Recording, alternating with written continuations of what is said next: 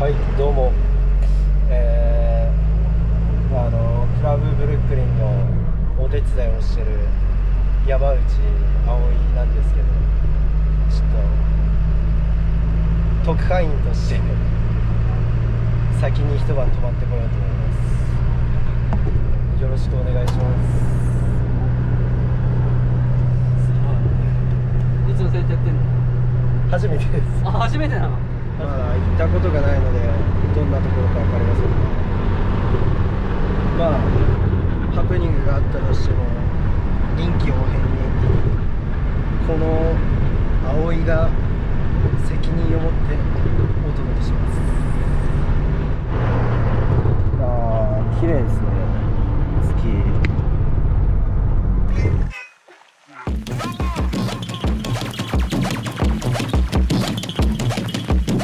ただいま17時53分ということでえー、っとですね今ちょっと車が1台来まして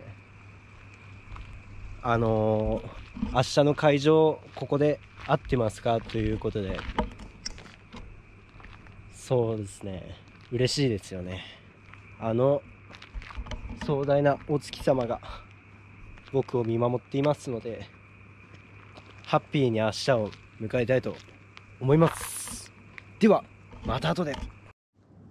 ということで、えー、これからお眠りタイムということで明日も晴れるといいな。良い夢を見ましょう。ではおやすみなさい。スクーおはようございます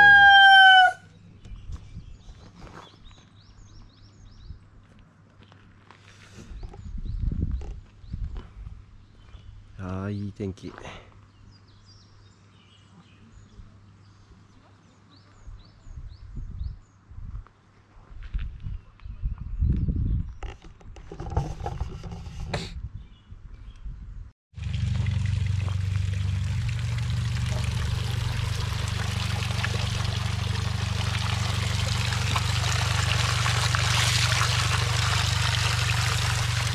冷たい。フレッシュだ。Música